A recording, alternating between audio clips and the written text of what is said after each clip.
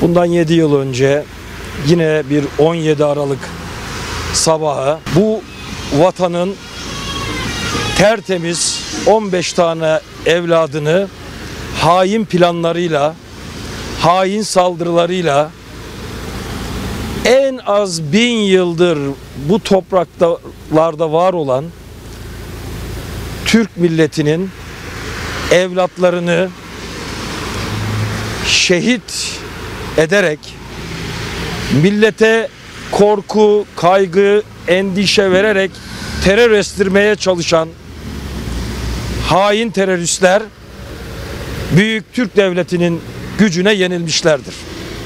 Ve yenileceklerdir de. Sayın Cumhurbaşkanımızın liderliğinde artık Türkiye gerek içeride gerekse dışarıda tüm küresel güçlere karşı büyük bir güç haline gelmektedir.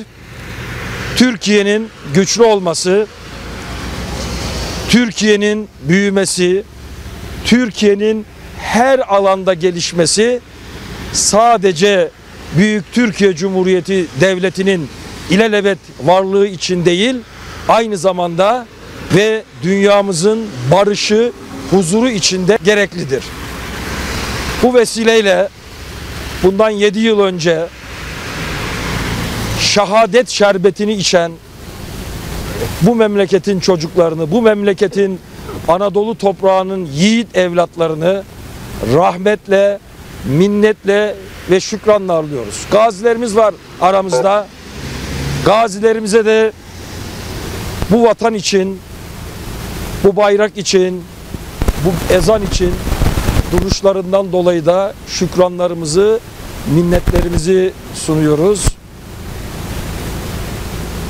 Malazgirt'ten İstanbul'un fethine, İstanbul'un fethinden Çanakkale'ye, Çanakkale'den de bugüne kadar, şu ana kadar bütün şehitlerimizin, bütün vatan evlatlarının ruhuna El Fatiha diyorum.